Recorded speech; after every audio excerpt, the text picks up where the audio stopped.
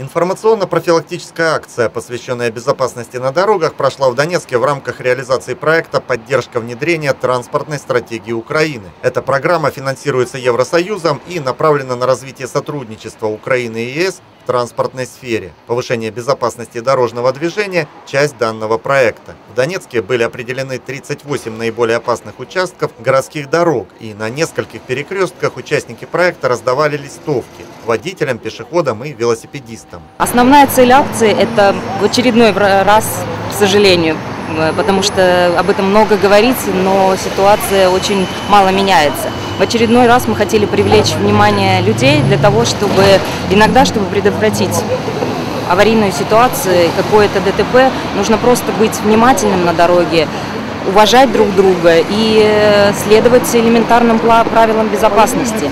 Вот э, это была наша цель. Мы раздаем материалы печатные, которые направлены на три группы участников дорожного движения. Это водители, пешеходы и велосипедисты. Но, конечно, особое внимание мы уделяем э, безопасности пешеходов и велосипедистов, ну, поскольку это является самой уязвимой группой участников дорожного движения. И к сожалению, очень много людей гибнет на дороге, чаще всего просто из собственной невнимательности. Активное участие в проекте приняли активисты общественной организации Комитет избирателей Украины. Они уже не первый год занимаются вопросами безопасности дорожного движения в Донецке. Начиная с проекта «Безопасный город», когда мы устанавливали светофоры, проводили акции этики на дорогах, просили водителей пропускать пешеходов, пешеходов соблюдать правила дорожного движения. Кроме того, сейчас наша организация инициировала проведение консультаций э, по развитию концепции велосипедной инфраструктуры в городе. Завтра будет круглый стол заключительный этап обсуждения концепции развития велосипедной инфраструктуры. И вот как раз сегодня эта акция э, направлена именно на просвещение водителей, пешеходов и велосипедистов. То есть есть как раз листовки для велосипедистов, что они тоже участники дорожного движения и также должны соблюдать правила. Есть обращение к водителям пропусти пешехода и к пешеходам не будь бараном, переходи место в положенном месте. Это немножко рисковато, но на самом деле э, надо менять культуру, надо менять сознание. Мы знаем это с Э, проекта «Безопасный город», когда мы тоже с помощью ГАИ останавливали водителей и э, помогали людям перейти зебру. И слава богу, сегодня, вот спустя уже 6 лет, э, люди действительно знают, что если они наступают на зебру, то какие-то хотя бы автомобили останавливаются. Участие в акции приняли и сотрудники ГАИ города Донецка. Для них проведение подобных мероприятий тоже не в новинку. Сегодня мы проводим совместную акцию среди пешеходов и водителей, то есть всех участников дорожного движения – Э, главное вовремя э, предупредить дорожно-транспортное происшествие.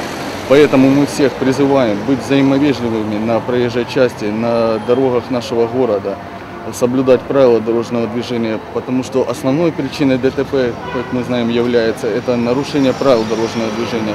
Если бы все соблюдали, как водитель уступал дорогу пешеходам на пешеходном переходе, а пешеходы переходили только в положенном месте, мы бы смогли избежать большинство дорожно-транспортных происшествий, в которых э, пострадали пешеходы, получили там, телесные повреждения. Бывают случаи, что и погибают пешеходы на проезжей части. Впрочем, непосредственно раздавали листовки и рассказывали о необходимости соблюдения правил дорожного движения волонтеры проекта студенты и преподаватели Донецкой академии автомобильного транспорта. Это по собственной инициативе. А, я состою в международной студенческой организации ISIC. Мы занимаемся развитием студентов, вот, и мне хотелось бы, чтобы молодежь была более образованная, да. и чтобы знали хотя бы элементарные правила дорожного движения, а не делали вот так вот, как вы сейчас видите. Вот. Перекресток улицы Артема и проспекта Павших Коммунаров был выбран местом проведения акции не случайно. После изменения разметки и переноса пешеходного перехода здесь достаточно часто случаются аварии. Мы не случайно выбрали данное место, так как оно является местом концентрации дорожно-транспортных происшествий с участием пешеходов. Э, здесь сейчас пик движения пешеходов в утреннее и вечернее время, когда все люди двигаются то ли на работу, вечером это с работы. Э, водителей и нарушителей останавливают инспектора ГАИ, проводят с ними профилактические беседы, раздают листовку, напоминают еще раз о недопустимости нарушения правил дорожного движения, быть взаимовежливыми на дороге.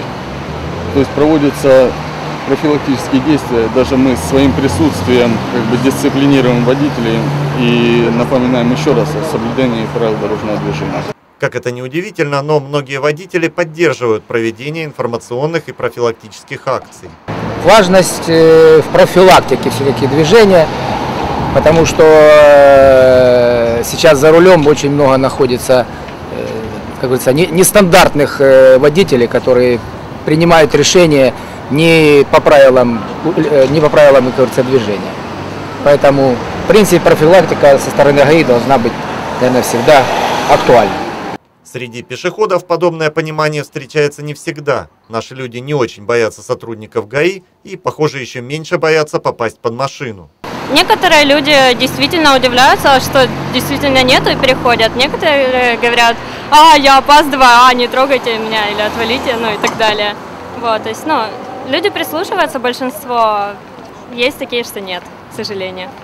Я думаю, в результате люди будут элементарно знать правила дорожного движения, и если же их не смущает то, что их может сбить машина, просто если здесь нет перехода, то я думаю, хотя бы совесть их помучает. Те, кто занимается проблемами дорожного движения достаточно долго, говорят, что подобные акции, может, и не дают сиюминутного эффекта, но служат для привлечения внимания к проблеме. Разовые акции, конечно, такие там пятиминутные, они просто э, дают маленький звоночек. Да? Ну, для актуализации проблемы потом идет сообщение в СМИ, потом идут какие-то очередные общественные слушания. Э, мы объясняем людям, что если им неудобно в данном месте переходить дорогу, то э, напишите письмо в ГАИ. Возможно, вы получите аргументированный ответ, почему здесь нельзя переходить дорогу. Иногда ведь люди нарушают правила не потому, что они любят нарушать правила, а потому что они не понимают обоснования. То есть если есть обоснование, что это опасно в данном месте для вашей жизни, или это э, создает там э, дополнительные пробки на дорогах, то тогда э, люди с большей готовностью соблюдают правила. Поэтому маленькими шажками на самом деле, то есть такими акциями, я знаю по опыту безопасного города и наших акций «Этика на дорогах» есть места, где водители привыкли благодаря таким акциям останавливаться и пропускать пешеходов на зебре. Поэтому капля камень точит, я верю э, в то, что что-то делая, э, можно что-то изменить, а ничего не делая, ничего не изменишь. К сожалению, в том, что проблема существует, сомневаться не приходится. За прошлый год на дорогах Украины порядка 5 тысяч человек погибло и около 40 тысяч были травмированы. Сергей Болдырев, Первый муниципальный.